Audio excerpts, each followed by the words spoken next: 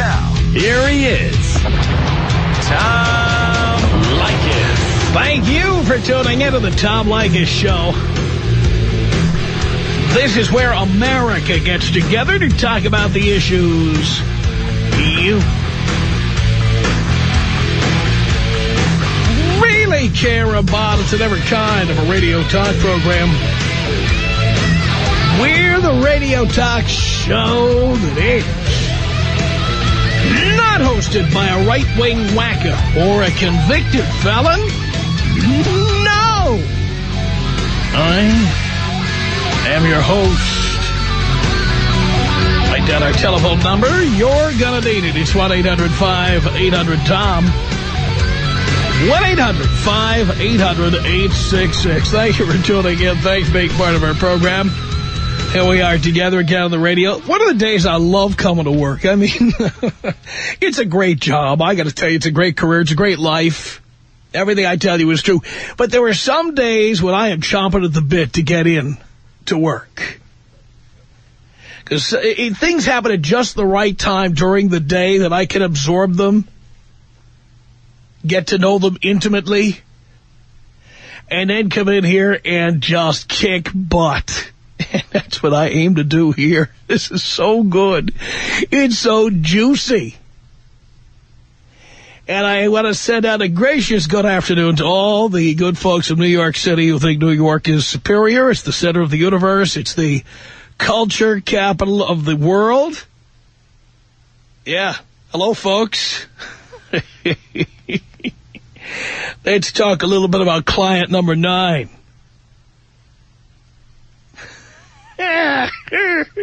Have you heard this story yet? If you haven't heard it, this is as good as it gets. A lot of New Yorkers were lording, New Yorkers love lording, you know, anything they can over anybody else. You know, our team's better than your team. Just don't mention the NBA to a New Yorker.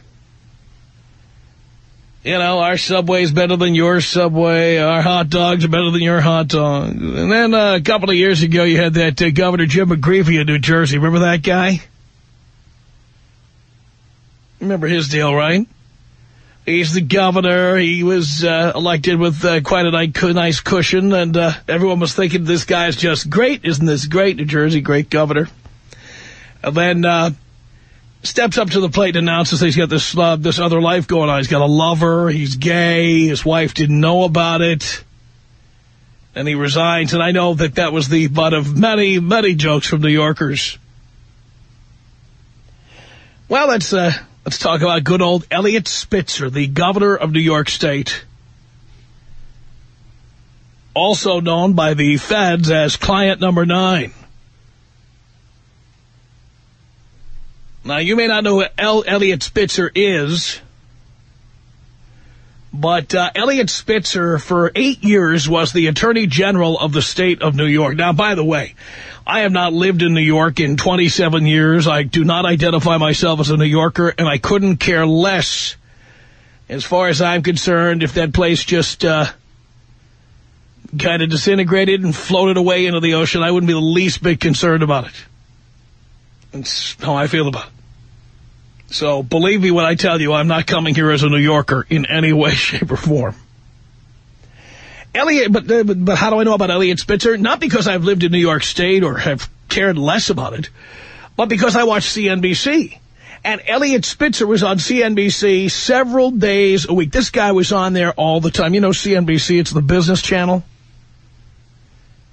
And he was constantly coming on CNBC to tell you the next uh, the next target he had for law enforcement. And, uh, boy, he had a big list, big list of things he wanted to do. He was one of the people screaming about Enron when the Enron scandal was beginning.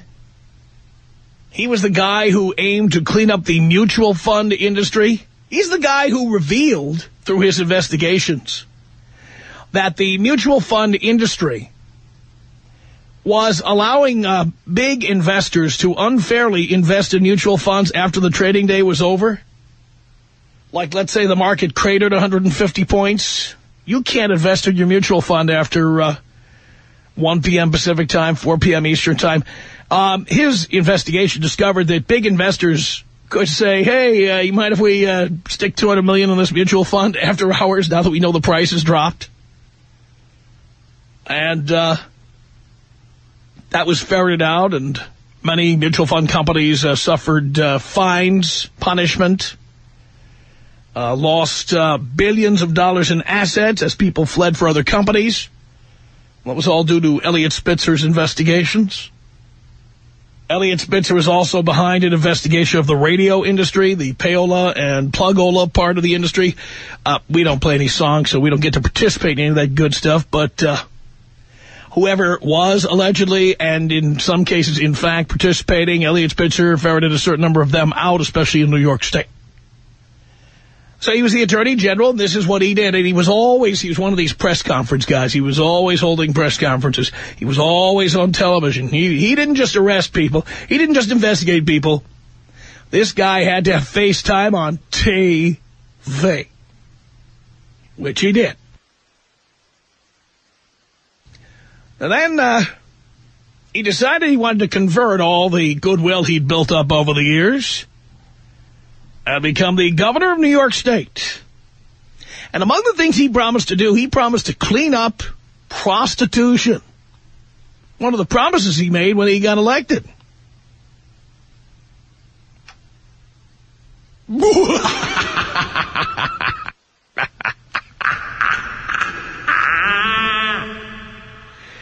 He's going to clean it up. Well, I think now we're getting an idea of what his methods might have been.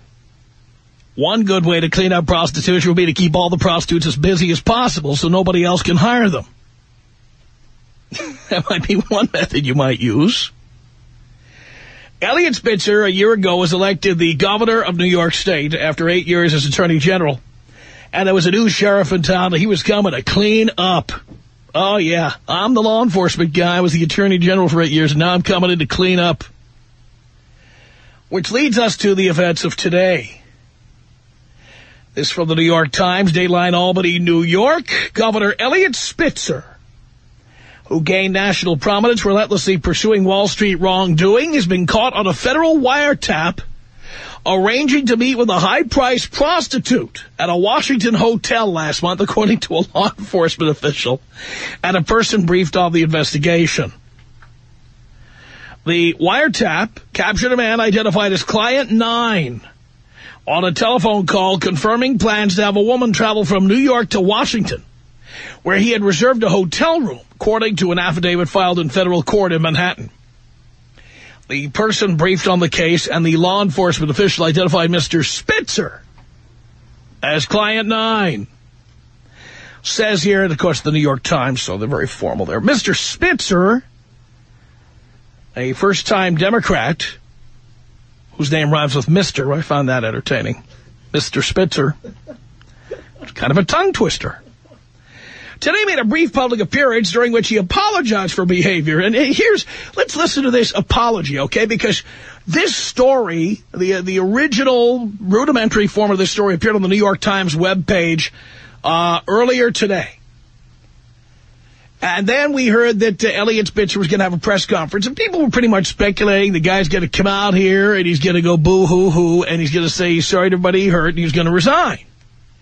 Well, that's not quite what happened. Here is what happened. For the past nine years, eight years as Attorney General, and one as Governor, I've tried to uphold a vision of progressive politics that would rebuild New York and create opportunity for all.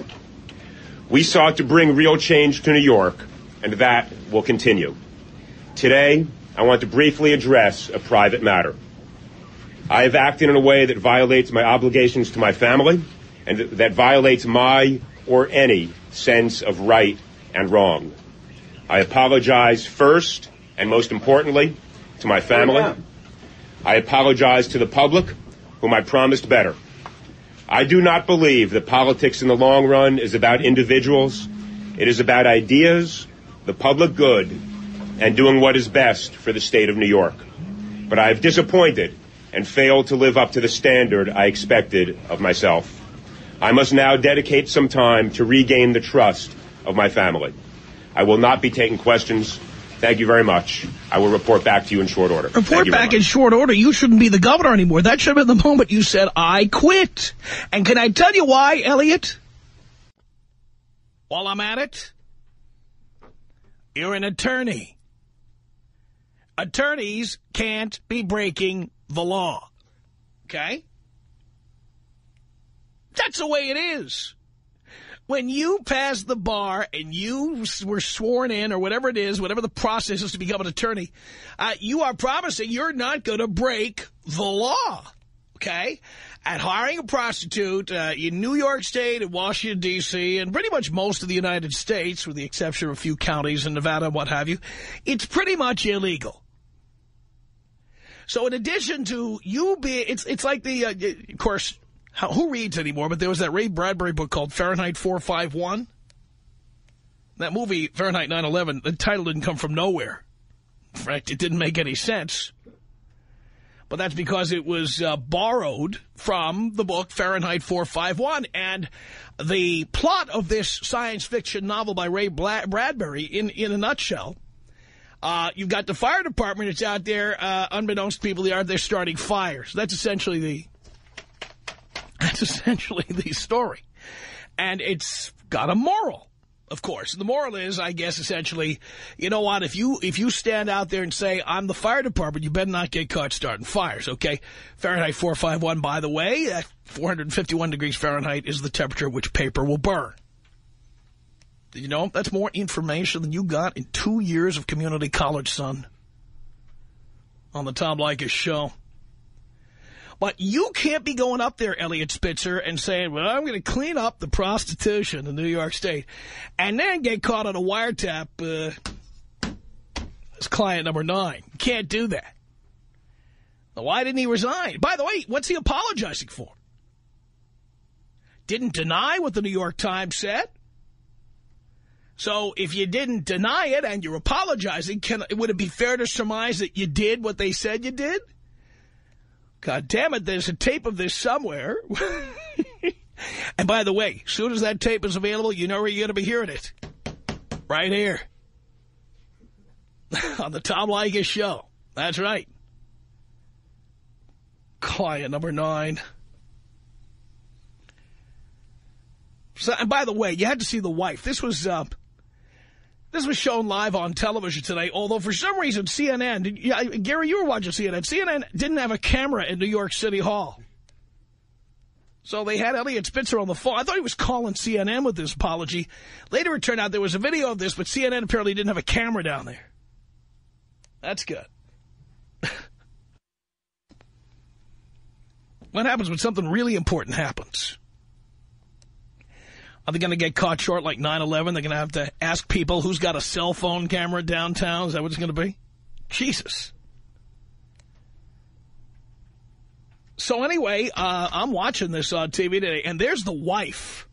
These political wives, you know, is it really worth it, honey? Come on. There you are with the big clanky necklace on and the perfect hair, and your eyes are all swollen, and you're because you just found out that you've been sleeping with client number nine, allegedly. Me know where this is going. it's too good. Says here in the New York Times story before speaking, Mr. Spitzer stood with his arm around his wife. The two nodded. I wonder what that was about and then strode forward together to face more than 100 reporters. Both had glassy, tear-filled eyes, but they did not cry. Well, he found out about this on Friday, apparently, so I bet they did a lot of crying over the weekend. Because he may not just have to resign as governor. This guy may not be able to be an attorney anymore. That could happen. That could happen. Probably won't happen, but it could. As he went to leave, three reporters called out, are you resigning? Are you resigning? And Mr. Spitzer charged out of the room, slamming the door. Says here the governor learned that he had been implicated in the prostitution inquiry when a federal official contacted his staff on Friday, according to the person briefed on the case. The governor informed his top aide Sunday night, after a weekend of begging in front of his wife. I just added that part. And this morning of his involvement, he canceled his public events today and scheduled the announcement for this afternoon after inquiries from the New York Times. The governor's aides appeared shaken before he spoke, and one of them began to weep as they waited for him to make his statement. Oh, it was at his Manhattan office. Somebody on CNN was wrong. They said it was City Hall in New York. What do they know? Oh, yes. Now, I'll take a break here because I, I, I don't want to interrupt the good stuff that's coming up. And, boy, there's more good stuff coming up here. Because, I, you know what? I have no problem with people who have a checkered past. You know me. I've done all kinds of bad things, and I tell you about it. You know, been married, divorced, screwed around, smoked weed, done mushrooms. Yeah, I've been a very bad boy. I've had you know, multiple sex partners at the same time. I, I, don't know what else I can tell you that I did. I was arrested on domestic violence charges. I get on the list because, you know, in my business, it pays to be notorious. if I hide anything, it's just going to cost me. But I love it when these guys come in. I, and by the way, I don't care if they're officials. I don't care if they're ministers. I don't care if they're radio personalities. Anybody who says, you know, I'm perfect, follow me, with going back to Senator Gary Hart in the 80s, who got caught uh, screwing around uh, uh, way back when, when he was thinking about running for president. Or he may have been running for president. Who remembers him anymore? Or, uh, of course, uh, the, the religious guys, Jim Bakker, Jimmy Swaggart, they got caught. Please forgive me. I'm sorry. And, uh, of course, who could ever forget Dr. Laura, showing off her untrimmed hedges uh, for, uh, uh, uh, what's his name, Bill Ballance. Oh, yes, all these perfect people who are going to tell you how to behave, and then you find out how they behave when you're not looking. So now we've got client number nine here, also known as the governor of New York State, apparently. And uh, here he is. He's going to try. He's going to try to get the people of New York City those yutzes in the bleachers at Yankee Stadium who, uh, you know, throw batteries at people and uh, threaten to kill them. Uh, they, he's going to try to get these people to accept the idea that the guy who's going to clean up prostitution uh, sits there at the Mayflower Hotel in Washington, D.C. and awaits the delivery of his prostitute. That That's perfectly okay. I have got, and this is from the smokinggun.com, I have got the actual federal documents right here with all the details the government says uh, took place here. Now, again, these are all allegations by the government. You're innocent until proven guilty. Hardy har har. Okay, fine. We'll accept that. He hasn't been proven guilty yet, but wait until you hear what's coming up. It's going to knock your socks off. Tom Leykis. 1-800-5800-TOM. I'm 42, and I'd love to bang an 18-year-old. That'd be great. It's the Tom Leykis Show.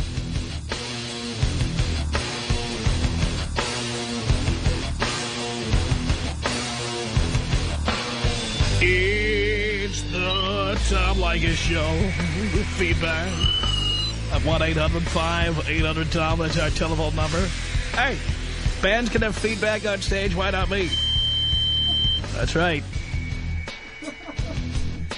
What the hell?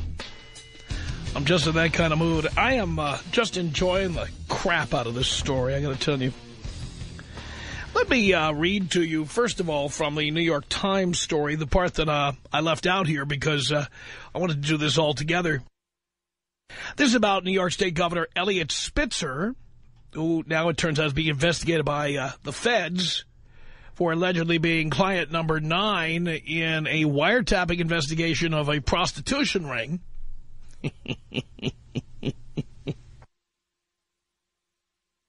Says here in the New York Times, the man described as client nine in the affidavit arranged to meet with a prostitute who was part of the ring. It was called Emperor's Club VIP.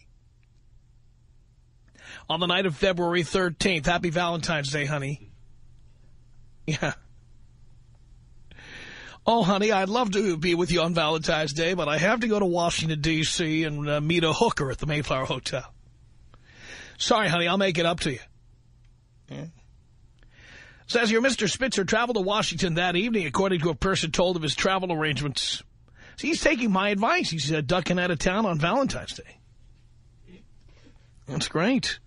Of course, offering to pay over $5,000 for a night with a hooker, not recommended. The affidavit says that client nine met with the woman, met with the woman.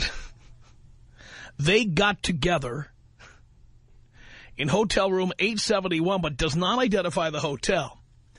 Mr. Spitzer did stay at the Mayflower Hotel in Washington on February the 13th, according to a source who was told of his travel arrangements. Room 871 at the Mayflower Hotel that evening was registered under the names under, under the name George Fox. George Fox. What was that name that George Costanza used to use all the time? Vandelay. What was the first name? It was George Vandelay? Art Vandelay, that's right. That would have been a good one to use, but no, he used the name George Fox. By the way, uh, the law enforcement official said that several people running the prostitution ring knew Mr. Spitzer by the name of George Fox, though a few of the prostitutes came to realize he was the governor of New York. I'm the governor, God damn it! I'm the governor! Mr. There is a George Fox. You know there, there's a real George Fox? He's a friend and a donor to Mr. Spitzer. now, that's a friend. Gary, I'm checking into the Mayflower Hotel uh, on Val the night before Valentine's Day. Can I say I'm Gary Zabransky at the hotel? Oh, wait, I think I have to. now, that's a friend. I don't do it anymore. you don't have to worry. No one's going to ask you about that anymore. Okay. So here's what they did. The New York Times called George Fox, the real George Fox. And they did a telephone interview with him, and they asked him whether he accompanied Mr. Spitzer to Washington, which would be another whole show. Maybe they could have brought uh, Jim McGreevey along with them and had a really great evening. Um, whether he accompanied Mr. Spitzer to Washington on February the 13th and February the 14th, Mr. Fox responded, why would you think that? I did not. Told that room 871 at the Renaissance Mayflower Hotel, a hotel where Gary and I have stayed, by the way. Have you been with me in Washington, D.C., Gary? I don't think so. You haven't been there with me? Because I've stayed at the Mayflower Hotel. I've been there. Oh, yes. Yes, told that the room was registered in Mr. Fox's name, but with Mr. Spitzer's Fifth Avenue address, Mr. Fox said, this is the first I've heard of it. Until I speak to the governor further, I have no comment. now they know George Fox was not at the Mayflower Hotel, but his name was, along with client number nine. Federal prosecutors rarely charge clients in prostitution cases, which are generally seen as state crimes, but the Mann Act, that's two N's, don't get too excited, passed by Congress in 1910 to address prostitution, human trafficking, and what was viewed at the time as immorality in general, makes it a crime to transport someone between states for the purpose of prostitution. Four defendants charged in the case, unsealed last week, were all charged with that crime along with several others. Oh, yes. Though his signature issue was pursuing Wall Street misdeeds, as New York State Attorney General, Mr. Spitzer also had prosecuted at least two prostitution rings as head of the state's organized crime task force. In one such case in 2004, Mr. Spitzer spoke with revulsion and anger after announcing the arrest of 16 people for operating a high-end prostitution ring on Staten Island. You know why he was upset? How many high-end people are on Staten Island? Why would you put it out there? Stupid idea. Just because Staten Island rejected NASCAR, come on. At the time, Mr. Spitzer said this was a sophisticated and lucrative operation with a multi-tiered management structure. It was, however, nothing more than a prostitution ring. I wonder he knows so much about this. So now the uh, smokinggun.com, and you know what? I, I, I hate taking another break here, but I want to get it in now so I can read all of this great material to you. And by the way, we are putting it up on our website, blowmeuptom.com. It is linked. If you want to read this and get a little head start on what we're going to read to you, or you just want to get a good, big, fat laugh at all the New Yorkers who are always trying to lord it over you that they're from New York. You guys ain't got no culture out here. Who's your governor? Arnold Schwarzenegger? yeah. Who's your governor?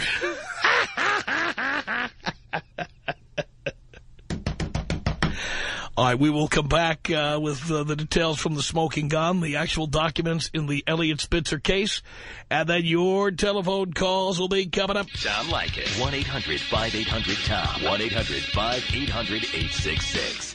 I support the feminists. Are you a feminist? Yes, I am. Really? Yeah, they're 100% equal to men. I don't pay for nothing. It's the Tom Leykis Show.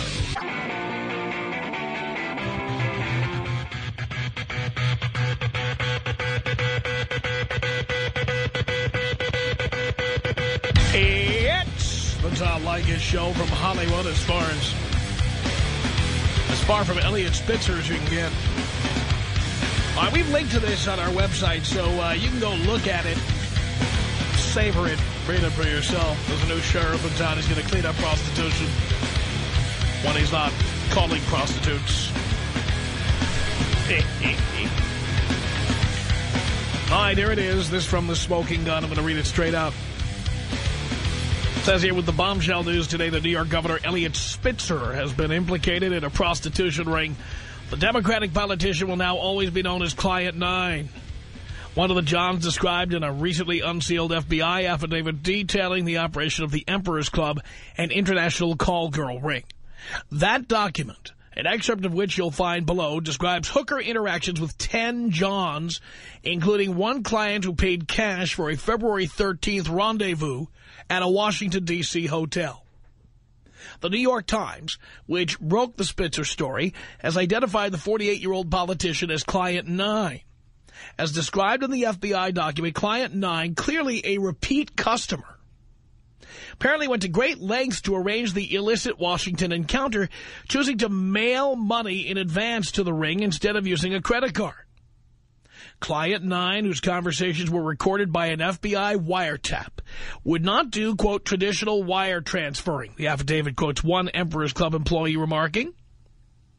Additionally, the affidavit notes that after her appointment with Client 9 ended, Kristen, in quotes, because these girls never use their real names, spoke with an Emperor's Club booker who said she had been told that Client 9, quote, would ask you to do things that, like, you might not think were safe. Riding bareback, Governor?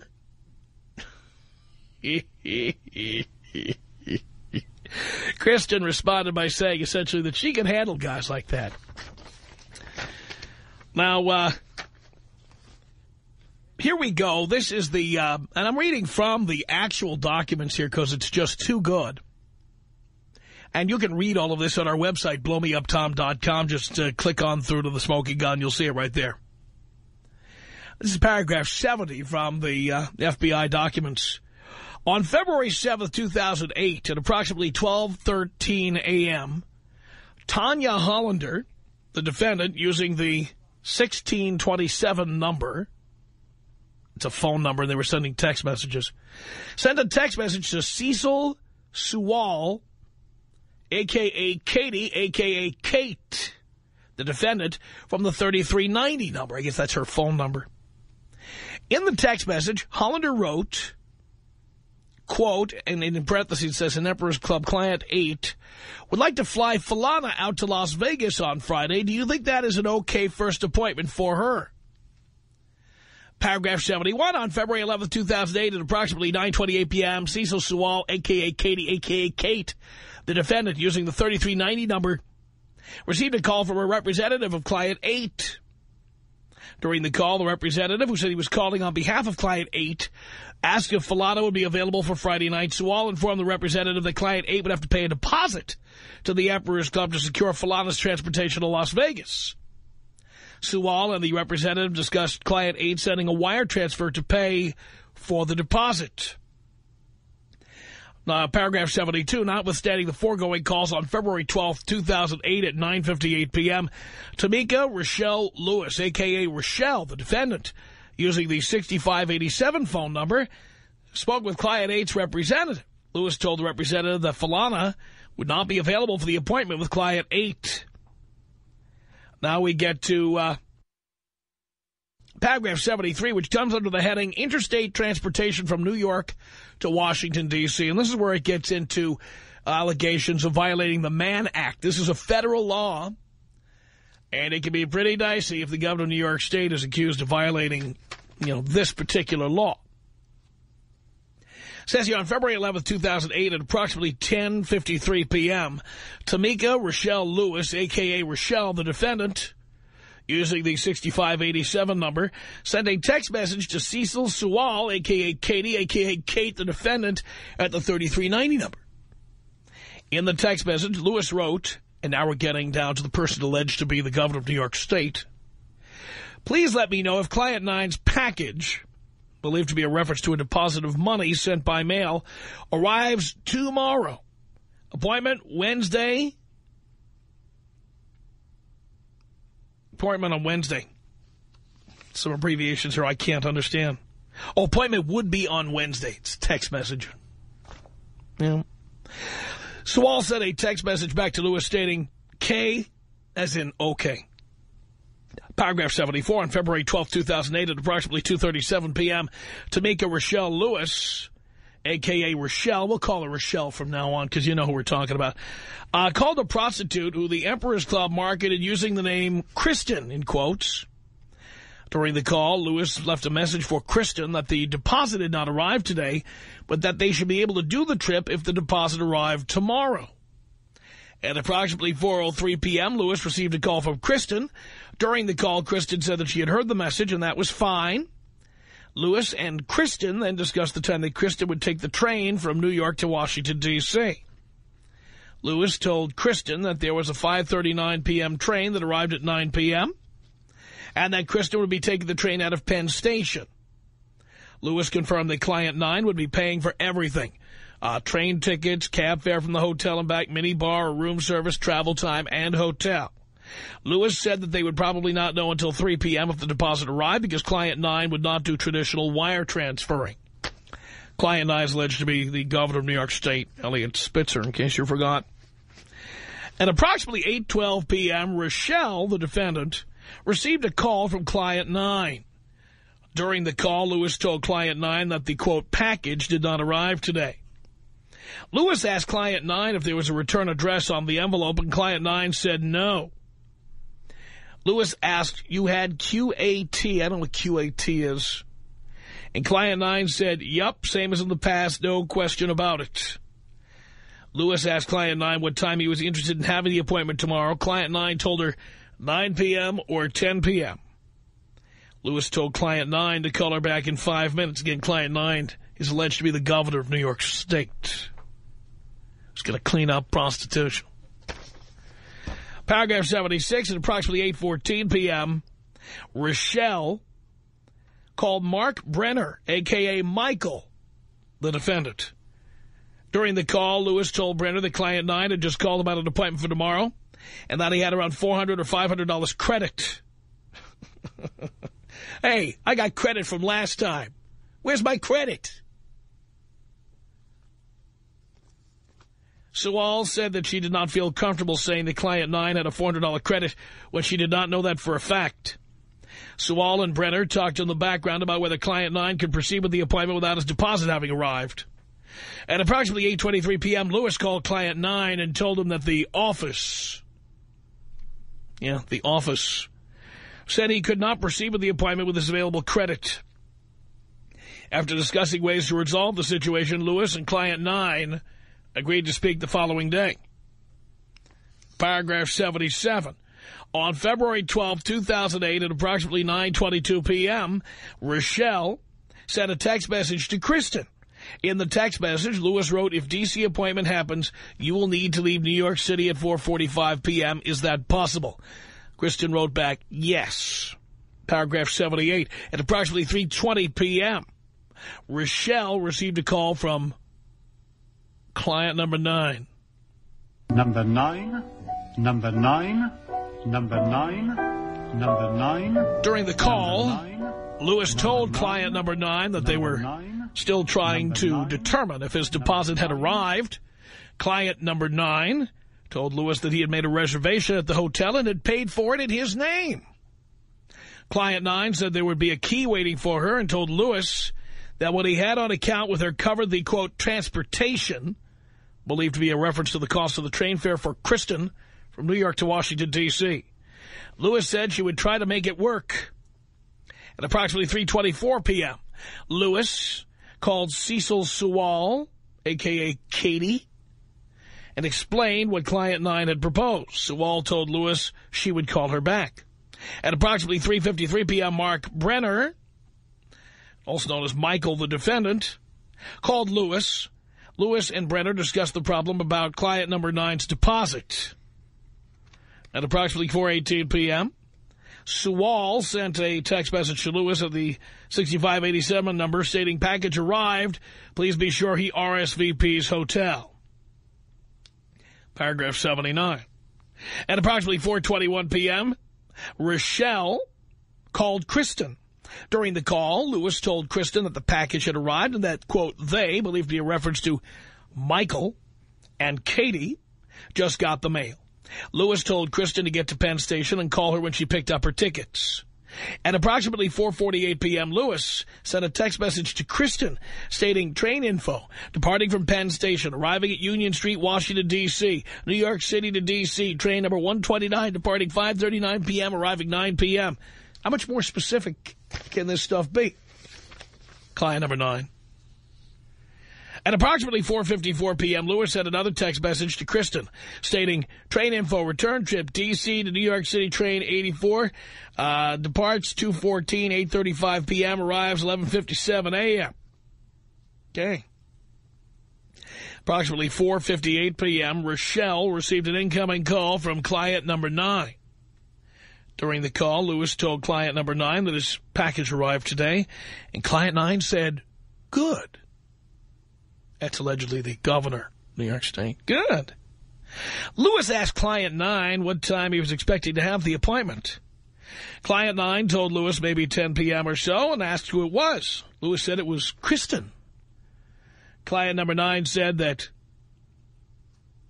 Wait a minute. Am I missing a page here? Let me see. 77. Client number 9 said... Uh, Oh, she was an American, petite, very pretty brunette, 5 feet 5 inches, 105 pounds. Client number 9 said that she should go straight to room 871, and if for any reason it did not work out, she should call Lewis. Now, I could go on and on here and talk about the negotiations, and there are negotiations here for how much they're going to pay. Uh, client number 9 uh, offered uh, $4,300, and they went back and forth on how much it was going to cost. And uh, all this talk about how the FBI got involved and the trip from D.C. to New York and what from New York to D.C. and what have you. But the bottom line here is this. I love this for the following reason. And it's not the reason you think, okay? I am a libertarian, a small L libertarian, as we say. I'm not a member of a political party, not the Libertarians, not the Democrats, not the Republicans. Don't belong to a party. But what I do believe is that prostitution is essentially a, it should not be a crime at all. You call it a victimless crime, it shouldn't even be a crime, okay? Because people sell their virtue every day in any number of ways. I'm a prostitute right now, okay? I am, uh, I am being paid a huge amount of money to sit here and have this conversation with you. A conversation I would not be having otherwise. That is prostitution like anything else. I don't know why we are such prudes about this. Prostitution should be legal. And that is why I love the fact that client number nine is going to get his uh, his ass kicked here because uh, client number nine is allegedly the governor of New York State, the guy who said he was going to fight prostitution, he's going to clean up prostitution. And I am tired of people who step forward in public and tell us, uh, I am the way, I am the truth, I am as pure as Snow White, I am going to clean things up. There's a new sheriff in town who, when you're not looking, uh, they are out doing whatever the hell they want. So I don't feel sorry for Eliot Spitzer. I feel sorry for his wife. God damn it. Why did you marry a guy like that? And his three daughters. I'll bet they're having just a peach of a time right now. And can you imagine how Eliot Spitzer explained his absence on Valentine's Day to go to the Mayflower Hotel in Washington, D.C.? It's pretty outrageous stuff. But there's nothing I love more than this. The Tom Leykis Show.